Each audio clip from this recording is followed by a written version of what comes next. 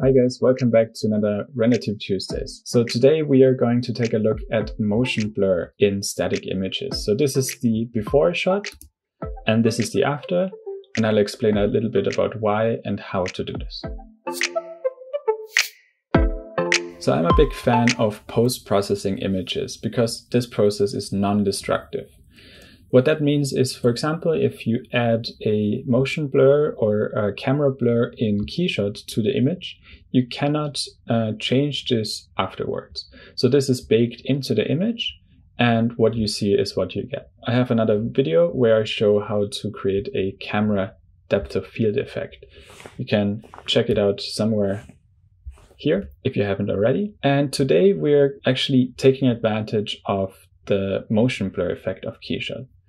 So usually I would use um, Photoshop to do the post processing, for example, blurring or uh, camera blur or anything like that. But this gets really tricky when it comes to 3D motion, right? So this is an example where the motion occurs in 3D space. For example, here we have a rotation and it's also tilted in 3D space. And we also have an overlapping with another part of the image which is not moving. So we have the moving part behind a different another object. And this gets tricky if you want to recreate the actual movement in uh, in Photoshop. So this is why I actually bake the movement and the motion blur into the image right out of Keyshot.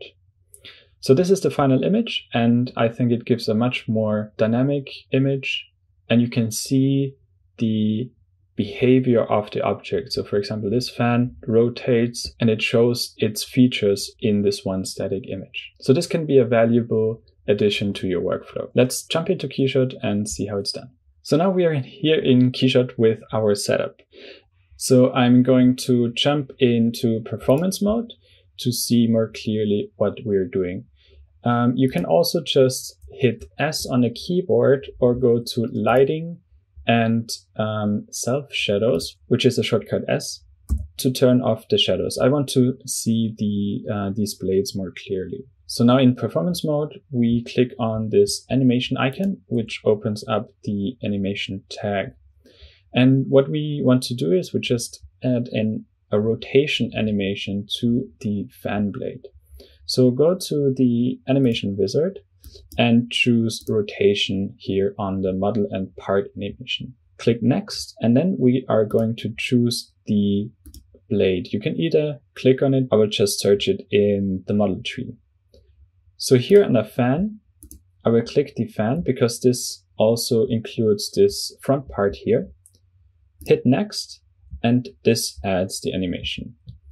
It will always add an animation for about one second in length.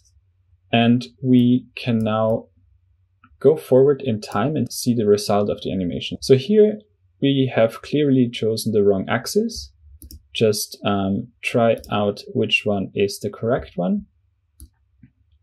So I think in this case, it's uh, the Z axis and we want to rotate the blade um, more than 90 degrees. Let's say 360 to increase the speed of the blades. We can also shorten the length of the animation to do the same thing. So we are animating a circular object currently.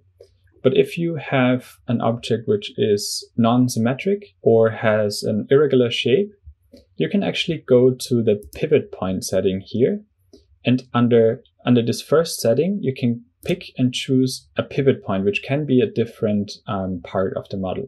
So for example, I can click here on this um, front panel and this creates the pivot point in the center of this object.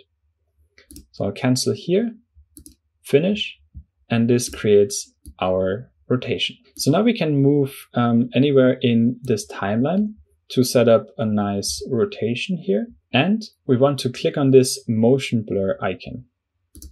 So if we do that, Keyshot will actually calculate the animation which happens before and afterwards and will blur the part accordingly. So this is exactly what we want. We can now jump out of performance mode and uh, see the result and we can tweak the um, speed of the rotation. So if I increase the speed of the rotation, the part gets more blurred And if I decrease the speed of the animation, the blur will be less. So you can choose according to your scene. And that basically is all there is to it. So this is a quick and easy way to create motion blur in Keyshot. I hope you enjoyed this quick tip. If you did, leave a comment down below, like and subscribe for more videos every week. Thanks for watching. See you next time.